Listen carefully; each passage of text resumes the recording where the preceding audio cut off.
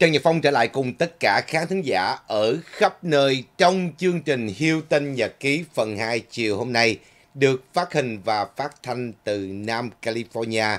Trước hết cảm ơn tất cả bạn bè khán giả ở khắp nơi đã chọn channel của Phong để theo dõi các bản tin hàng ngày, các bài nói chuyện, phân tích, đối chiếu, so sánh trên tinh thần chủ quan của Phong cũng như là phần thảo luận của tất cả chúng ta sau mỗi một bản tin. Cảm ơn mọi người rất là nhiều.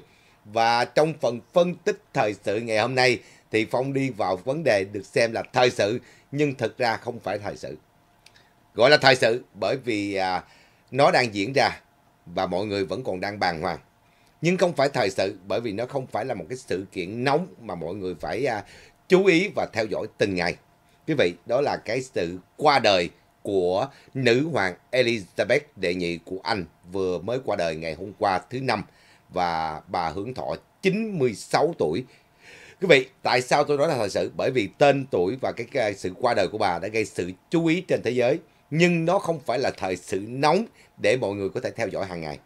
Và do đó, tại sao ngày hôm nay tôi lại làm cái chương trình này? Bởi vì có một cái điều đặc biệt mà khán giả của TNP Channel vẫn chưa nhận ra và chưa thấy được sau khi bà qua đời.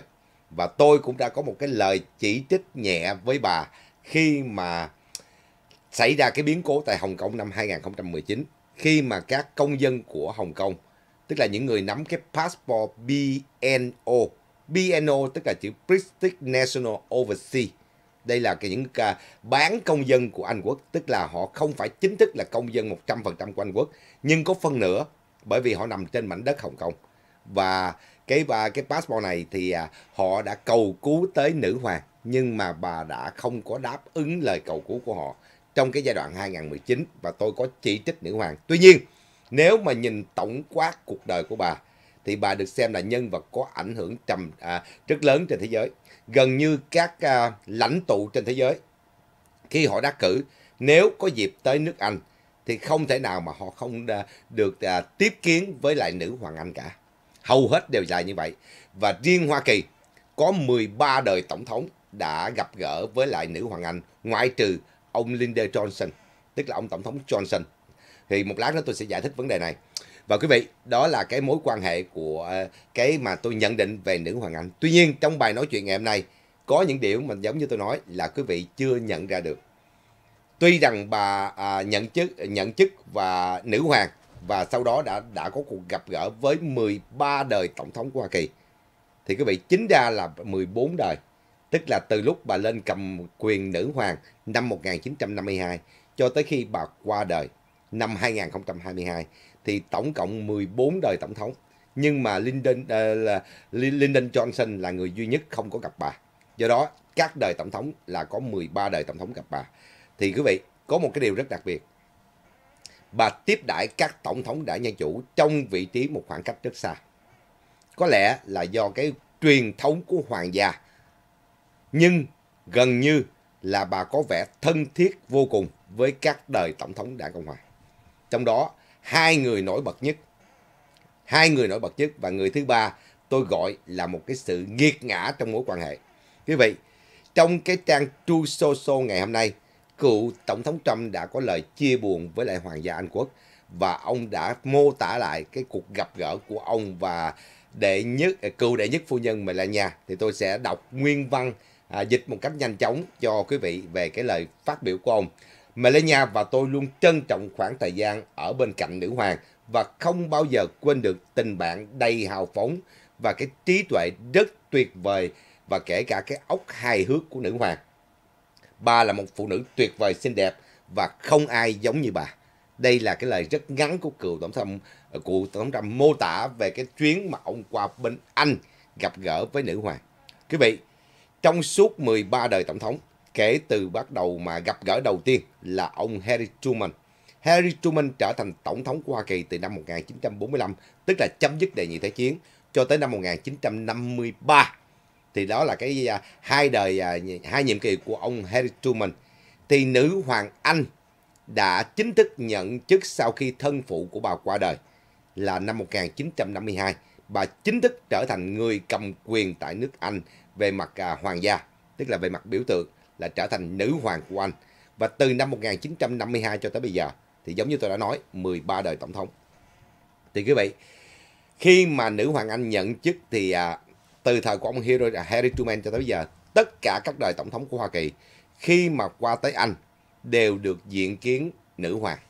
Và cựu tổng thống Trump hai lần diện kiến 2018 và 2019 và hai lần đều có cái à, kết quả khác nhau. Quý vị, tại sao tôi nói kết quả khác nhau? Trước khi tôi nói về cái mối quan hệ nghiệt ngã giữa cựu tổng thống Trump và nữ hoàng thì cái người được xem là đánh giá thân thiết nhất với nữ hoàng được xem là bạn bè luôn quý vị. Bạn bè luôn bởi vì bên cạnh cái vấn đề mà protocol giữa các chính phủ, người đứng đầu nước Mỹ và nữ hoàng đứng đầu nước Anh. Cuộc gặp gỡ đó theo quy tắc là về chính diện quốc gia, họ còn là bạn thân. Đó là cố tổng thống Ronald Reagan. Ronald Reagan được xem là vị tổng thống à, của Hoa Kỳ mà có cái mối thân thiết nhất với nữ hoàng Anh trong 13 đời tổng thống. 13 đời tổng thống thì ông Ronald Reagan thứ nhất là bởi vì ông xuất thân là một tài tử. Là tài tử điện ảnh thì nữ hoàng đã xem một số phim của ông đóng. Do đó nữ hoàng cũng có cảm tình. Và thứ hai là tổng thống Ronald Reagan là người đã được nữ hoàng kính trọng bởi vì cái thái độ cứng rắn của ông và đã làm cho khối cộng sản của Đông Âu phải sụp đổ là công trạng do à, cố tổng thống Ronald Reagan đưa ra và lúc đó quý vị khối cộng sản đã Đông Âu đã đe dọa trực tiếp tới cái an ninh quốc phòng của Âu Châu của ta của Tây phương đặc biệt là của nước Anh. Thì tổng thống Ronald Reagan là người đã có công giật sập toàn bộ chế độ cộng sản. Do đó quý vị sự kính trọng đó nó bắt nguồn từ hai thứ. Thứ nhất là bản thân ông là một tài tử. Và thứ hai sự cứng rắn trong chính sách đối ngoại của cựu tổng thống à, cố tổng thống Ronald Reagan đã dẫn tới sự kính trọng của nữ hoàng Anh và từ đó đôi bên trở thành bạn thân. Và quý vị, người thứ hai mà nữ hoàng Anh có cái cảm tình nhưng đáng tiếc ổng đã phải từ chức sớm do chiến tranh của Việt Nam và bị áp lực bởi cái vụ Watergate, tức là ông Richard Nixon. Richard Nixon là người đã đến gặp nữ hoàng Anh ở trong cái năm 1972-73 giữa lúc mà chiến tranh Việt Nam lên cao nhất và trong cuộc gặp gỡ một lần duy nhất đó thì nữ hoàng Anh vẫn nhắc tới ông Richard Nixon giống như là một huyền thoại của nước Mỹ. Người thứ hai quý vị. Và người thứ ba là chính là cựu tổng thống Donald Trump. Nữ hoàng chưa bao giờ nhắc tới những đời tổng thống trước, kể cả Bill Clinton. Họ họ gặp gỡ nhưng mà nữ hoàng im lặng, cười và có cái khiếu hài hước và không nhắc nhở gì tới Bill Clinton hay Obama kể cả trước đó là Jimmy Carter. Còn Linda Johnson là coi như bà bà từ chối không gặp mặt. Bà từ chối không gặp mặt Lyndon Johnson. Thì cái đó là cái đời lần duy nhất quý vị. Thì quý vị trong các đời tổng thống dân chủ từ bắt đầu Bill Clinton, à, Jimmy Carter rồi tới Bill Clinton rồi tới Obama bà tiếp đãi những nhà đời tổng thống này theo cái tinh thần protocol tức là theo cái nghi lễ của hoàng gia Anh quốc nhưng bà lại không có cảm tình ngược lại bà lại có cảm tình với các đời tổng thống bên đảng cộng hòa hơn. Bởi vì xuất thân và của bà là chế độ hoàng gia mà chế độ hoàng gia là một chế độ bảo thủ. Một chế độ bảo thủ. Chế độ quân chủ là chế độ bảo thủ. Do đó nó có cái tính thích thích hợp hơn với lại các tổng thống của à, đảng Cộng Hòa ở bên Hoa Kỳ.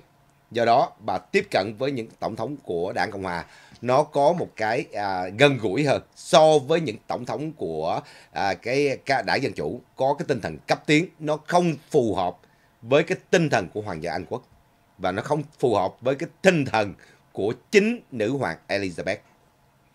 Quý vị, và bây giờ tôi bước vào cái câu chuyện thứ hai mối quan hệ mà tôi gọi là nghiệt ngã giữa cựu Tổng thống Trump và nữ Hoàng Anh. Quý vị, khi ông Trump đắc cử năm 2016 và nhận chức năm 2017, thì lúc đó toàn bộ lực lượng cánh tả dưới à, bàn tay điều khiển của Hillary Clinton, đặc biệt là giới truyền thông, từ Anh sang tới Mỹ, mở một chiến dịch tấn công ráo riết và coi như bôi nhọ và sỉ nhục cựu Tổng thống Trump rất khủng khiếp ngay cả thị trưởng của London còn cho làm một cái hình nộm cựu tổng thống Trump trần truồng với cái bộ phận sinh dục nhỏ xíu để bôi nhọ và bôi bác cựu Tổng thống Trump. Rồi quý vị, trên nguyên tắc khi ông Trump nhận nhiệm vụ thì ông sẽ đi gặp những à, ông sẽ đi à, công du ra nước ngoài để gặp các quốc gia đồng minh của mình mà trong đó Anh là ưu tiên hàng đầu. Anh là ưu tiên hàng đầu. Thì quý vị, khi mà cái tin của ông tới nước Anh thì ngay lập tức đài cánh tả BBC sỉ nhục ông bằng cách là kêu gọi mọi người tẩy chay và kêu gọi anh không tiếp đãi ông. Ngược lại, họ lại làm một cái cuộc phỏng vấn rất dài với Obama. Thì quý vị thấy thời điểm của năm 2017 là cái phong trào mà do đám cánh tả ở Mỹ này dưới sự điều khiển của Obama và Clinton đã khuấy động một cái cuộc tấn công tráo riết bôi nhọ không còn một banh giáp nào đối với cựu Tổng thống Donald Trump năm 2017. Cho nên năm 2017, ông đã không thể tới Anh được để gặp gỡ nữ hoàng Elizabeth. Bởi vì lúc đó quý vị, nó mở một chiến dịch tấn công tàn khốc vào cá nhân của ông Trump. Thậm chí quý vị thấy, nó làm một cái hình nộm bong bóng. Nó làm một cái hình nộm về ổng, trần truồng với bộ phận sinh dục rất nhỏ để nó bôi nhọ và bôi bác ông. Mà người làm cái hình nộm này chính là thị trưởng của London thì quý vị biết là lúc đó nó chống ông Trump tới mức độ nào. Và lúc đó quý vị, chính bà Theresa May là thủ tướng của anh, bà đã phải đương đầu với một đám quá khích cánh tả ở tại Âu Châu. Bà đã dằn mặt cái đám này ở ngay trên sàn nghị viện của anh. Khi đám này kéo một đám người rất đông tới uy hiếp bà là không thể tiếp đãi Donald Trump, tổng thống của Hoa Kỳ. Quý vị còn nhớ lời nói của bà Theresa May. Quý vị có thể là lãnh đạo các cuộc biểu tình trên đường phố. Nhưng chúng tôi là lãnh đạo của quốc gia. Và ông Donald Trump là một tổng thống dân cử đắc cử tại Hoa Kỳ, một tổng thống hợp pháp tại Hoa Kỳ. Chúng tôi có bổn phận trách nhiệm với đối tác đồng minh của mình. Đây là lời trả lời thẳng thắn của bà Theresa May. Và cuối cùng bà đã sắp lịch cho cựu tổng thống Trump tới à, Anh để gặp gỡ và có cái cuộc gọi là gặp gỡ giữa đôi bên.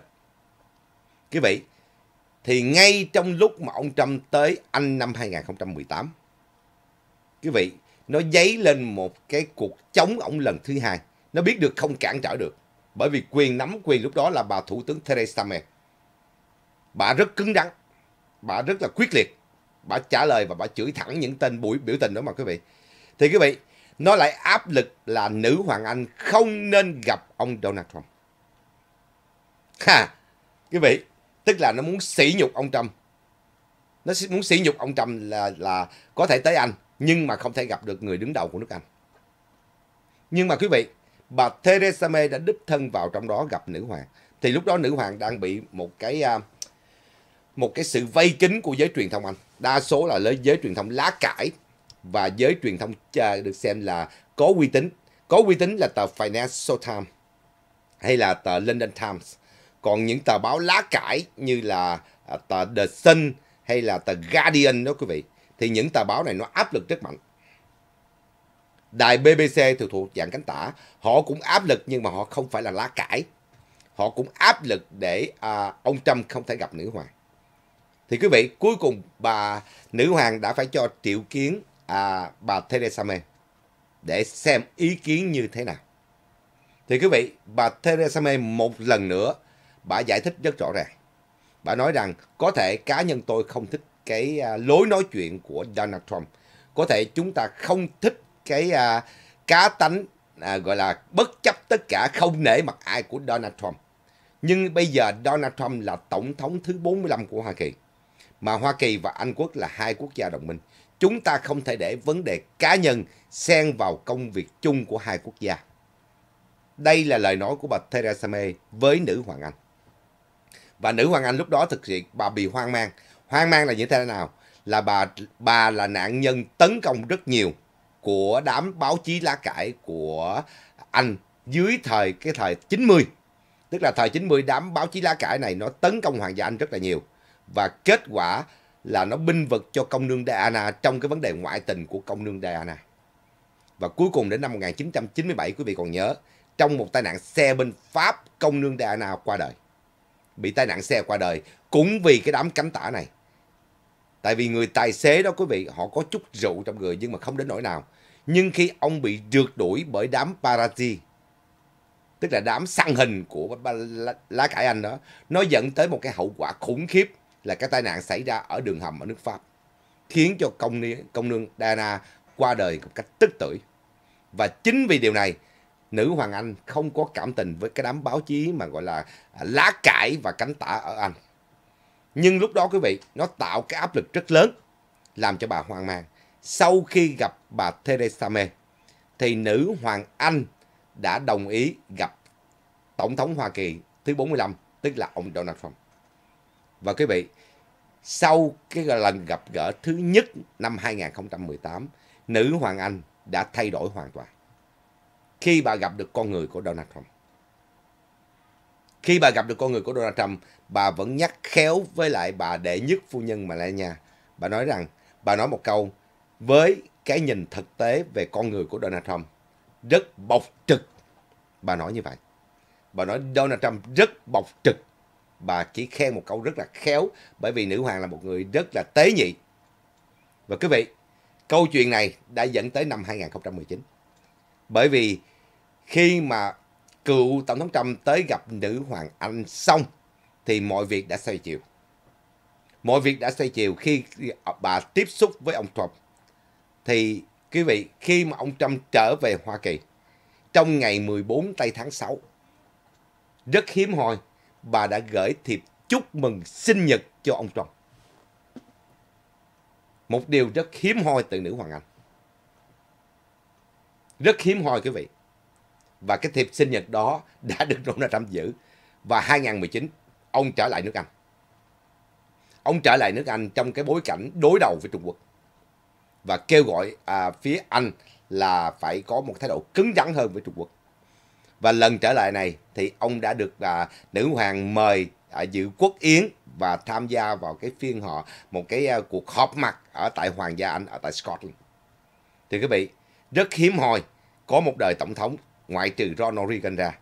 Chưa có ai được nữ hoàng mời cái phía gặp vào trong hoàng gia với tính cách là khách danh dự của hoàng gia ở tư gia ở tư nhân tức là riêng cái bữa cái đó là không có là nó không đại diện cho quốc thể nữa mà nó đại diện riêng cho hoàng tộc của à, à, nữ hoàng Elizabeth ông là hai tổng thống một trong hai tổng thống rất hiếm hoi Ronald Reagan và ông Trump thì quý vị tại sao nó lại có mối quan hệ nghiệt ngã.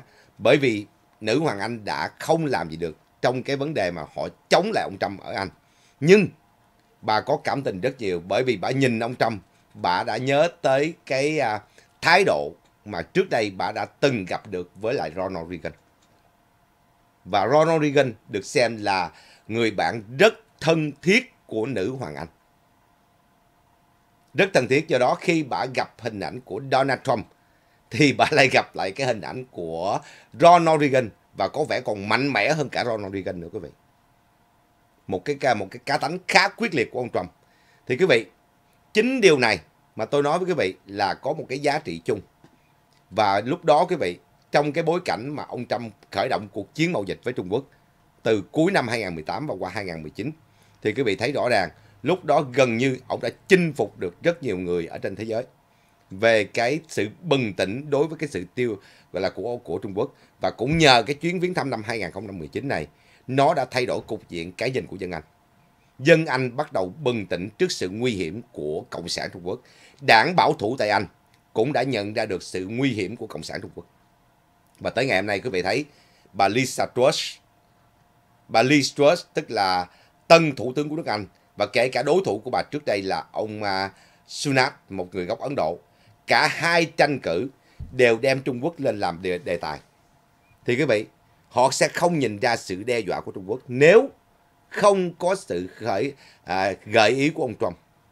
Và quý vị, ông Trump đích thân gặp nữ hoàng năm 2019. Và lúc đó, nữ hoàng cũng đã đồng ý là Trung Quốc là một trong những cái mối đe dọa tiềm năng. Và kể từ đó quý vị, Anh đã bắt đầu có những cái thái độ à, khác với Trung Quốc. Đặc biệt là năm 2019 trong cái bối cảnh mà Hồng Kông đang nằm dưới cái cái uh, cuộc biểu tình dân chủ. Nhưng mà đáng tiếc lúc đó nữ hoàng Anh lại không chú ý và không có để tâm tới cho kể cả cái lá thư cầu cứu của người dân Hồng Kông. Và thời điểm đó tôi đã chỉ trích nữ hoàng. Tôi nói tại sao nữ hoàng lại không lên tiếng? Trong khi bà là người chịu trách nhiệm trực tiếp, nước Anh là quốc gia chịu trách nhiệm trực tiếp với vận mạng của người dân Hồng Kông. Và quý vị, năm 2019 thì bà Theresa May từ chức. Và người thay thế là Boris Johnson. Boris Johnson là kẻ nhu nhược đối với lại Trung Quốc. Một điều mà khiến cho nữ hoàng đã lui vào trong cái à, bóng tối, kể cả cái việc mà gây ồn ào của Meghan với lại William khi mà à, chuyển sang Mỹ ở. Và lúc đó quý vị còn nhớ, ông Trump đã binh vực cho nữ hoàng. Ông đã tuyên bố nếu William và Meghan qua Mỹ ở thì nước Mỹ sẽ không chịu trách nhiệm về an ninh của những người này bởi vì người này tuyên bố rời khỏi Hoàng gia Anh Quốc. Quý vị còn nhớ lúc đó ông Trump rất binh vực cho nữ hoàng.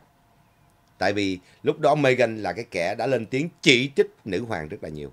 Và đây là ờ, cái cô này thuộc dạng có cái gương mặt rất là đẹp. Nhưng mà cái tâm hồn của cô ta không đẹp. Ích kỷ vô cùng. Và cô đã lôi à, hoàng tử William qua Mỹ ở. Hôm nay thì tôi không biết bà ông này có, có đưa vợ trở về giữ đám tang hay không tôi chưa biết. Nhưng mà quý vị, mối quan hệ của cựu Tổng thống Trump với nữ hoàng Elizabeth là một mối quan hệ nghiệt ngã diễn ra trong bối cảnh mà ông Trump bị gọi là tứ bề thọ địch. Nhưng ông vẫn trao đổi thư từ với nữ hoàng trong những năm sau đó và kể cả sau khi à, cho tới khi mà ông chấm dứt nhiệm kỳ. Ít nhất là nữ hoàng Anh và tôi cho quý vị thấy vì xuất thân là hoàng gia, tức là chế độ hoàng gia của Anh. Cái suy nghĩ của những người đứng ở cái ngai vàng đó, họ bảo thủ hơn. Do đó, họ cảm thấy họ thích hợp hơn với những người bảo vệ cho giá trị bảo thủ, những giá trị nền tảng. Họ không có hợp lắm với những kẻ cấp tiến quý vị. Tại vì nữ hoàng đã thọ giáo rất nhiều lần, bà trở thành nạn nhân bị tấn công báo chí bởi, bởi báo chí chỉ vì cái tinh thần bảo thủ. Và đám báo chí thì là luôn công kích bà. Thì quý vị đây là một trong những cái mà tôi nói là cái sự đồng cảm giữa nữ hoàng và tổng thống Trump. Bởi vì trong cái đêm mà gặp gỡ năm 2018 lần đầu tiên thì ông Trump chỉ nói một câu. Ông Trump nhắc lại cái sự kiện của công nương Diana để thấy rõ ràng cái sự nguy hiểm của đám truyền thông cánh tả khi mà nó mở chiến dịch và nhân danh tự do báo chí và nó sử dụng lá cải để nó tấn công hoàng gia Anh quốc như thế nào. Lúc đó, ổng là người đã khiến cho bà suy nghĩ lại về cái đám truyền thông ở tại Anh. Ok quý vị, đó là cái bài và Hiêu Tinh Nhật Ký mà tôi muốn cho quý vị thấy được cái mối quan hệ gọi là nghiệt ngã của ông Trump với lại à, nữ hoàng Anh. Hôm nay thì nữ hoàng Anh đã qua đời và thái tử à, nói là thái tử thì không đúng, bây giờ tôi phải gọi ông chính thức là hoàng đế của Anh là hoàng đế Charles đệ tam thì ông này được xem là người bảo thủ hơn so với thân mẫu của ông. Đặc biệt là sau cái biến cố của công nương Diana, ông đã có một cái uh, ông đã có một cái uh, cái nhìn khác và ông trở nên kín đáo hơn kể từ sau cái chết của công nương Diana. Và quý vị, Hoàng gia Anh thì vẫn là biểu tượng của khối thịnh vượng chung gồm nhiều quốc gia, trong đó có luôn cả Hoa Kỳ. Tại vì Hoa Kỳ từng là thuộc địa của Anh nhưng cái à, cái chết của nữ hoàng thì có thể sẽ tác động rất mạnh tới cái mối quan hệ của Anh và một số quốc gia thịnh vượng chung và có thể tác động tới à, kể cả cái chính sách của Hoa Kỳ. Lần này chúng ta đã có một tân thủ tướng và một tân hoàng đế. Tân hoàng đế là là ông Charles đệ tam, tân thủ tướng là bà Liz Truss. Hy vọng rằng nó sẽ thay đổi cái màu sắc của nước Anh trước cái tình trạng thách thức trong cái uh, biến cố trên toàn cầu, sự xâm lăng của Nga tại Ukraine, sự gọi là thô bỉ và tôi gọi là thô bỉ nha quý vị và tham lam của Liên hiệp Âu Châu. Khi mà tống tiền Anh buộc anh phải trả tiền cho cuộc ly dị ra khỏi Liên hiệp Âu Châu như thế nào? Cũng như là cái sự đe dọa của đảng Cộng sản Trung Quốc trong cái tham vọng là thống trị toàn cầu. Thì tôi hy vọng rằng vị tân hoàng đế và kể cả vị tân thủ tướng của Anh sẽ nhìn rõ cục diện hơn và có họ có thể giúp ảnh hưởng ngược lại với cái chính quyền cánh tả của Joe Biden hiện nay.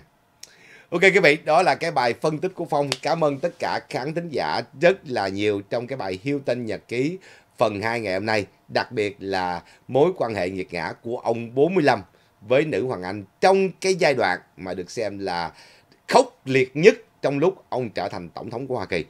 Cảm ơn tất cả mọi người rất là nhiều cho bài nói chuyện này.